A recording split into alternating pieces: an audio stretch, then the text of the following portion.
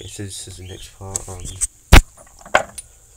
this is a uh, low voltage insulator. It's nice cobalt blue colour. It's my favourite one of this colour. I keep it in there.